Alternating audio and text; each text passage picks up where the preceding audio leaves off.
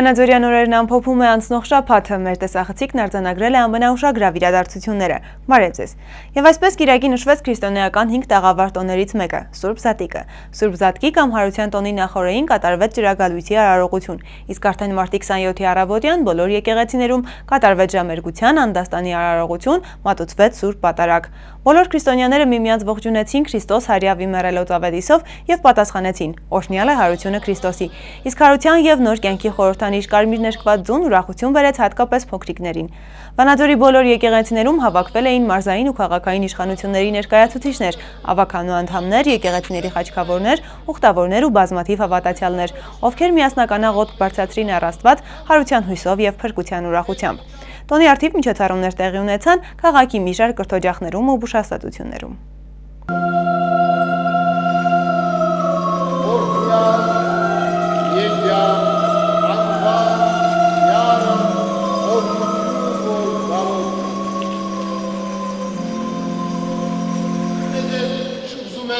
տոնախմբել և ձեզ շնորհավորել, ասելով Քրիստոս հարյավ իմերելոց,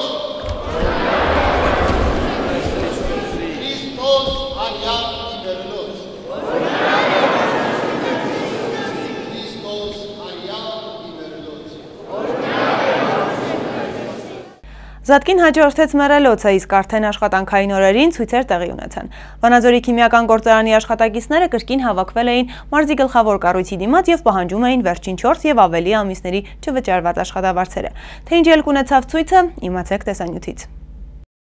Շոլկի աշխատողներն են, ջեկի աշխատողներ, մեկ են մեր քիմպրոնի աշխատողներն են։ Երեք ամսվա աշխատարարցի համար մենք ենք եկել իստեցի աշխատողներն էլ նանից առաջումն էին 5 ամսվա աշխատած, նրանք էլ ու պլյուս 5 ամսվա աշխատարցի համար։ Իրանցը մոտորապես կան 8 ամիս, մեր 3 ամսվա աշխատավարձ, չաշված է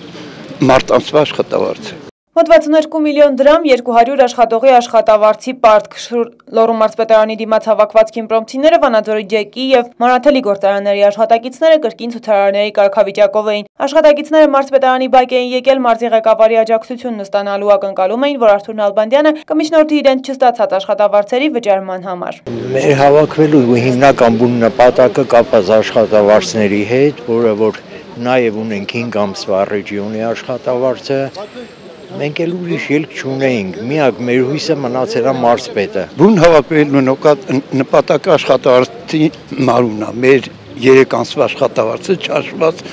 մարտ ամիսը։ Ակնկալիքները մարզպետից մենակ ակնկալիք ունեն, կառավարությունից ոչ։ Մարզպետ Արթուր Նալբանդյանը նախ ցանկացավ ավելի հանգամանալից ուսումնասիրել խնդիրը տեղեկություններ ստանալ հաշվապահությունից եւ բարձել, թե ինչպես են կուտակվել այդ պարտքերը փորձենք նաև նոր նախարարի հետ խոսեմ, ես պարոն Յոլյանի հետ հիմա կփորձեմ խոսեմ, տեսնենք ինքը որքանով է տեղափոխվի, բայց համոզված եմ, որ արդեն այս խնդրի մասին ինքը ինֆորմացիա ունեն։ Խոսեմ, ասեմ։ Բացի մարզի ղեկավարին դիմելուց ջեկի աշխատակիցները իրենց աշխատավարձը ստանալու համար դիմել են նաև դատարան, դատը շահել են, բայց մինչև որս ոչ մի փոփոխություն, անգամ արդարադատության նախարարություն դիմելն օգուտ չի տվել։ 5 ամսվա աշխատավարձի պարկ ունենք 2011 թվից, որի համար որ դատի ենք տվել եւ դատը շահել ենք եւ մեկ էլ դեկտեմբերից ես կոմ 4 ամսվա աշխատավարձ։ Ուրեմն մենք նամակ ուղարկեցինք արդարադատության նախարարություն, այնտեղից պատասխանեցին, որ դա մեր իրավասությունների մեջ չի մտնում։ Էդիկ Գուլինյանը, ով 20 տարի աշխատել է Մանաթելի գործարանում եւ եւս 8 տարի ջեկում, նշում է, որ աշխատավարձերի պարտքը բազմաթիվ սոցիալական խնդիրներ է առաջացնում պարտքերը իր հերթին, կոմունալներն իր հերթին, չգիտես խանութներից ինչ վերցնես, ինչ անես պարտքերն էլ չես կարամ տաս, կոնկրետ չեն ասում, որ աշխատավարձը գոնե այս ամսվան, այս օրը պետք է տան, որ կարենաս գնաս ինչ որ մի բան։ Հլա այդ ուտելիքը, մթերքը իր հերթին, այս կոմունալ վարձերն էլ այս այսօր եկուց պետք է անջատեն լույսերը, տան վատառողջ կին կա, չենք կարող Ցուցարարներին հետաքրքրում էր նաև գործարանների հետագա ճակատագիրը։ ջեկի աշխատակիցները նշում էին, որ անցյալ ամսվա ընթացքում գործարանում ապամոնտաժման աշխատանքներ էին իրականացվել, վճարվել են խողովակաշարեր, գեներատորներ, սարքավորումներ եւ գոյացած գումարով վճարվել են պարտքեր, բայց ոչ աշխատավարձինը։ Մեզ դենց են ասում, մենք ինչ գիտենք, ինչ դա ինչ ինչի մար են տանեմ, ով է տանեմ, ուր են տանեմ։ Մեզ ասում են, այդ գումարի պարտքն ենք մուծեմ։ Մեր մոտ հատ է արդեն Համիկ խիմզավոդ են կտրեմ։ Եկել ենք իմանալ մեր զավոդը պիտի աշխատի վերջնական թե չէ։ Եթե չէ ժողովրդին բոլորին ախրանալու բռնացած բոլորին ուղարկեն տուն ու բրցնենք։ Այս խաղա այս ինչա։ Ինչքան կարելի համբերել ցենց։ Քիմբրոմցիները աշխատավարձերը չստանալու դեպքում սպառնում էին գործադուլով, սակայն երեք օր անց մարտի 31-ին հայտնեցին, որ մարզի ղեկավարի միջնորդությամբ Քիմբրոմի, Ջեկի եւ Մարաթելի գործարանների 4-ից 2 ամսվա աշխատավարձերի պարտքը վճարվելու է ապրիլի 1-ին, մյուս երկուսը հաջորդող օրերին։ Իսկ Ջեկի աշխատակիցների ռեգիոնի աշխատավարձի վճարման հարցը մնում է չլուծված։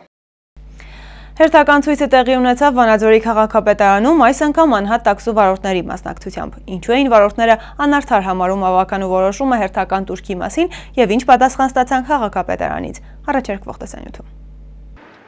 Վանաձորցի տաքսու վարորդները հրաժարվում էին համայնքին վճարել իրենց տուրքերը, տաքսիստները ծառայությունն իրականացնելու համար վճարում են 8000 դրամ, իսկ համայնքին որպես տուրք վճարում 15000 դրամ։ Մինչդեռ Երևանում այդ տուրքի չափը կազմում է 10000, իսկ Գյումրիում 12000-ական դրամներ։ Ներկաներից ոմանց հրավիրել էին քաղաքապետարան վճարելու 2015 թվականի իրենց պարտքը, սակայն տաքսիների վարորդները հրաժարվում էին վճարել պատճառաբանելով, որ ինչ որ անարդարություն կամ սխալ հաշվարկ կա։ Իսկ բարձրացնելու հիմքը մենք մտածում ենք այսօրի մեջ անարդարությունը։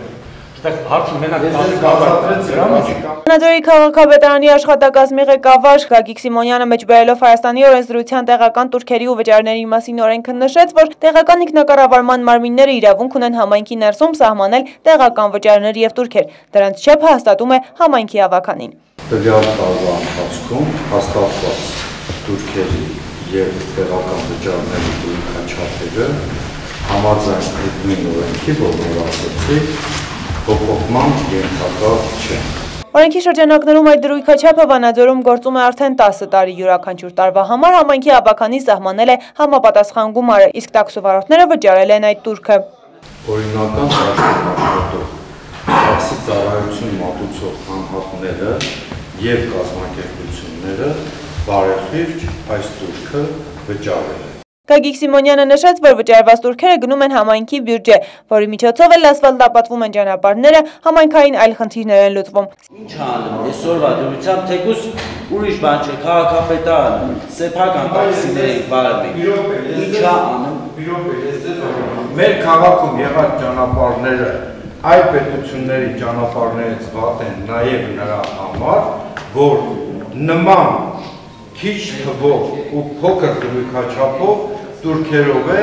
համալրվում համայնքի բյուջեն։ Սիմոնյանի պատասխանը չկոհացրեց ցուցարարներին, ավելին նրանք նշեցին, որ շարունակելու են հրաժարվել վճարել турքերը եւ պատրաստվում են հանձնել իրենց արտոնագրերն ու դուրս գալ օրինական դաշտից։ Վանաձորը բարեկարգում ակուր դարձնելու աշխատանքները շարունակվում են նեցուկ համայնքային ոչ առևտրային կազմակերպության աշխատակիցների կողմից կատարված աշխատանքներն արձանագրել է մեր տեսախցիկը։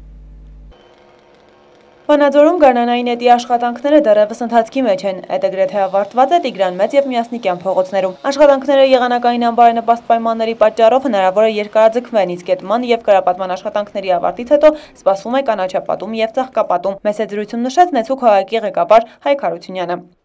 Աշխատանքները դեռ շարունակում են եղանակը թույլ կտավորելի որոշակի